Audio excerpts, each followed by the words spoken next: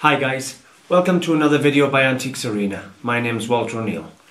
In this video I'm going to look at um, silver plate items and see if we can repair some silver plate without um, sending the items away for uh, you know replating. Now what I've got is some new shine silver maintenance solution. This is supposed to be a pure silver polishing compound and contains pure silver. Um, give a little look. That's the product I'm using. Now this is supposed to repair the uh, items. Now the instructions are this unique solution adds pure silver to your worn silver plate and hard base metals such as brass, copper, nickel and bronze by molecular molecular plating. The result is permanent and will not chip, flake or peel. Your silver will also be cleaned and polished. It will not be effect effective on soft base metals. Directions for use. Cover all work surfaces, wear gloves. Shake the bottle thoroughly. Apply liberally with a clean cloth or soft sponge. Darkening often occurs as the transfer of silver takes place. Rub firmly for 10 or 15 seconds, buff lightly with a soft cloth. A beautiful shine will appear and the silver plating process is complete. If necessary, re reapply the badly worn areas or increase the thickness of the silver.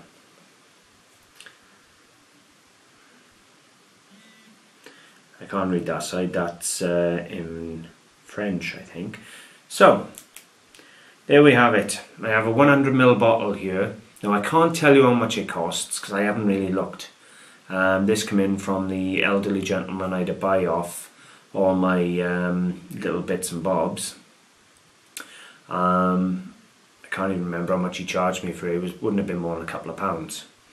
So I bought two two pieces for testing now, guys. I have a 19th century Sheffield plate coaster now, the inside is totally worn and stinking. I'm not going to touch that a minute, I'm just going to work on the outside. Now what we have here, you can see all the plate is very worn, it's all, well, all the way around the edge is worn. It's a lot of weight on there. There's still some plate left, but it's a lot of weight. That's what it looks like now, guys. And the next piece I'm going to try is a simple penny. It's uh, uncirculated, so it is immaculately clean. Um, as you know, I bought um, about 30 kilos of these uncirculated 1967 pennies. You can see there just how clean it is, it's immaculate. Now I'm going to try and repair this and then I'm going to try and silver this just to see how well it bonds to clean copper. And that's the experiment we're going to do right now guys. Now you'll always go out and you'll see beautiful pieces of plate and they'll be worn and you think, do you know, the minute I start describing the wear on them, people ain't want to know. And that is such a beautiful piece of silver plate. I love the shape, I love the age, I love the design. You know, it's got the right name, WMF, Danish. Um, but at the minute the plate's worn, you're buggered. So this experiment now is going to be interesting. Now it says to shake the bottle very, very well. So we'll see. Now all I have, I have the solution and I have some cotton wool balls. I'll use one to apply and I'll use another to remove.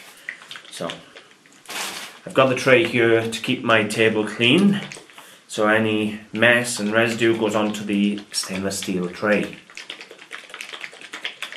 So I'd say that's about enough. Now I'm going to apply quite a bit of this because I never used it before and we're going to see how we go. Well, that comes out quite thick and brown. I don't know if you actually saw that.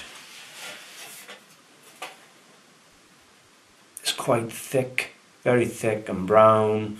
We'll see how this goes now. It's going to be interesting guys. So, it just says to apply gently and apparently it'll clean it and repair the silver. So we'll see cleaning it so far I can't see any improvement to the silver the cloth so far is black So add a bit more.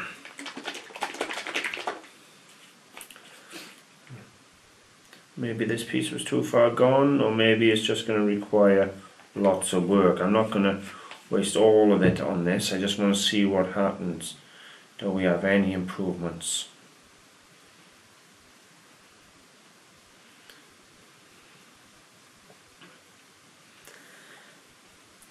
Yeah, if you deal in silver plate like I do, then you'll know this is a very valuable experiment.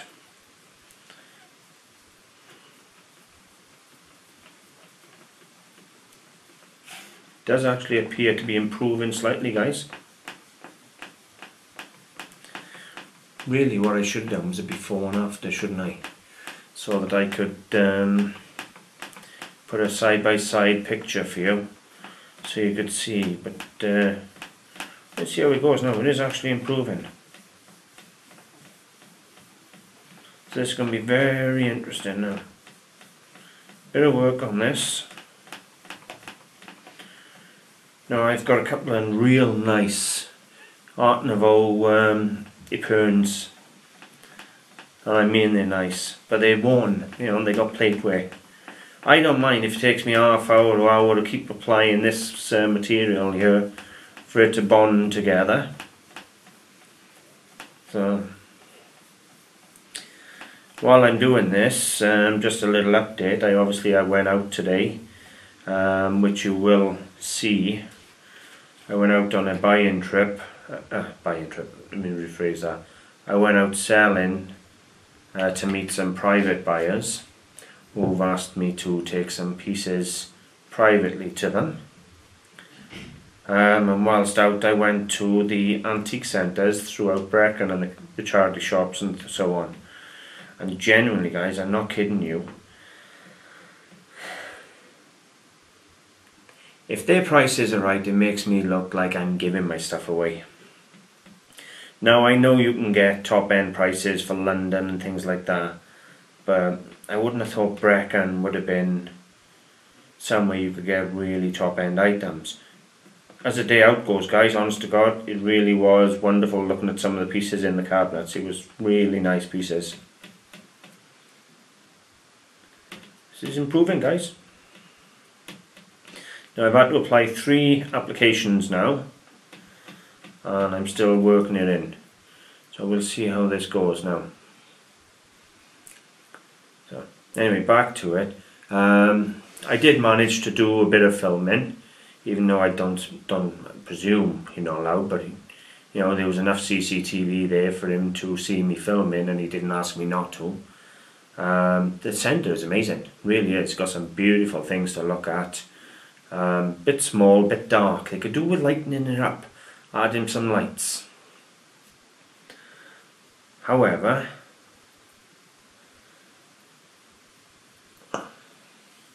I did enjoy looking around there, I must admit. So, went to the charity shops and I did see a beautiful pair of Waterford uh, glasses in the original box and they were something special. They wanted like 50 quid for them in a charity shop. So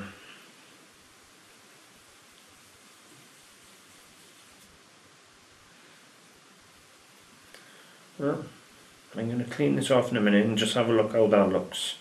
Actually I'm not, I'm going to leave that. What I'm going to do, I'm going to put a final little treatment on there guys. And I mean it's a small amount and I'm going to rub it in and just leave it soak and just leave it soaking now what I want to do is start applying it to the penny see what happens if anything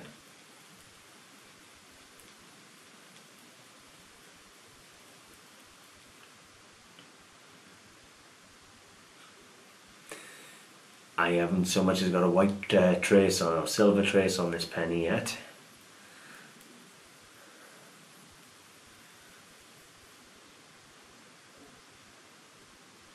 Cleaned it, huh? No, it didn't need to clean it. Right, so that didn't work a minute. What I'm going to do now, put some in there and see if it takes.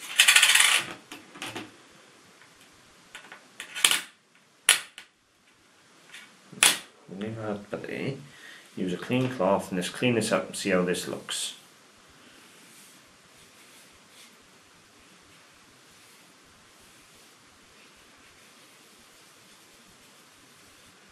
Well, I gotta be 100% honest, guys. There's improvements. There really are improvements. I'm gonna buff him up for you now.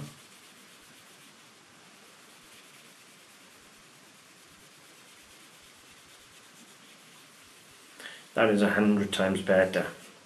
I must admit. It's far from perfect still. But that is a hundred times better than what it was. Rewind the video fraction guys and take a look at it how it was. So there is some merit in what they're saying here. Um, you can obviously repay to an, a degree. I, and I've no doubt now if I kept working on that all night, if it was a good enough piece of silver plate, you know, I kept applying and applying it, that it would actually replate. Because it really has put quite, sorry about that, it's put quite a bit of silver back onto the base. However, maybe it needed the original nickel to stick to because I have just plastered this penny in this silver treatment and it has come up as good as new, nor a single speck of silver on it. So that was interesting. But I must admit it has actually improved the base of this. It ain't perfect by a long ways but there is improvement. So, it's not totally, it doesn't do exactly what it says on the tin, but it does actually do some improvement and with enough work, I've been here for what, maybe five, ten minutes polishing this piece and I've, I've certainly improved it 50%. So if it was a valuable enough piece, you know, I could work on it all night if need be and it wouldn't matter if I used a quarter or half a bottle of this. Uh, to repair the right piece is worth doing. Now the cost of one of these I have no idea. Do you know while I'm here I'm going to have a look for you at the cost uh, I'm going to look at Amazon first guys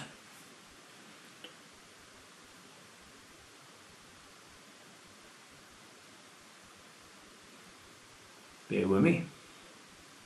Right, so.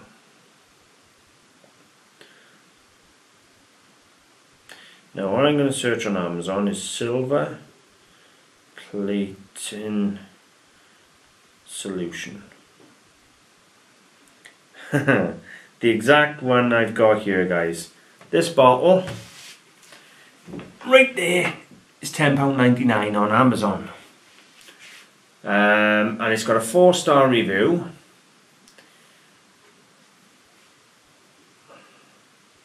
Um, for £10.79 it's on Prime with free delivery. So that's not too bad. Now there are other ones. There's one here, Antiquax silver plating solution, 100ml, £41, but it's got a 4.5 star rating, so it's obviously going to be a better quality of plating. So there's more than one available. There's options, and there's more than there's multiple options on Amazon, guys. There's even a silver plating spray that you can spray it on. Even Goddard's do um, a silver replate, a replating dip. So there's plenty of um, different ones for you to try. There's silver gels, there's all, all sorts. Silver gel, alternative to currentless silver plating solution. So there's even a silver gel. I may buy one of them and try one of them one day. But in the meantime, if you see a bottle of this or you've got some or you just want something to improve minor scuffs or minor wear, then it does seem to work. I can't say any more than that. I'll certainly, uh, if I see a nice silver plate uh, salver or tray and it's just got a little bit of wear now, I'll certainly buy it and think, well, it's not just a piece of scrap anymore. You know, I can replate it and sell it on. So, hopefully you've enjoyed this video guys and I really hope it helped. If you have, I would appreciate a like and a share and if you're new to my channel, please uh, subscribe and there's a little bell uh, that you click on for notifications of my videos. So, yeah, you'll find me on Facebook. I have a page and a group, and that's Antiques Arena. You'll find me on eBay. Run a search for Antiques Arena Clearance, and I have my own website, antiquesarena.co.uk or antiquesarena.com. Thanks for watching, guys. Bye for now.